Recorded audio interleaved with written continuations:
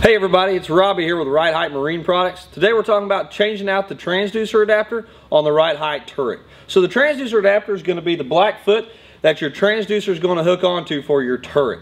In order to do this, you're going to need a few tools. You're one going to need a Phillips screwdriver, a new transducer adapter, and also you're going to need a power drill with a small drill bit to drill a pilot hole for the screw to go back into the new transducer adapter.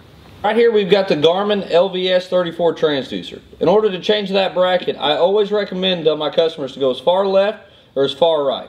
So right here we're going to go all the way to the right with our turret.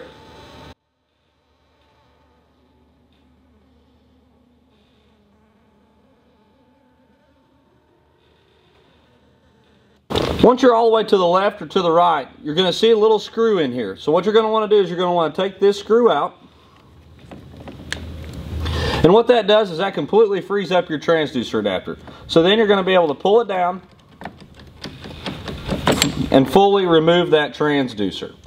So then what you're going to want to do is you're going to put your new transducer back in, which we're just going to use the same one. So you'll put it in, however you can get it in there. And then you're going to look at it. So on this instant, we went all the way to the right. So you're going to want to make sure and turn that transducer as far right as you would like it to get the proper viewing angle.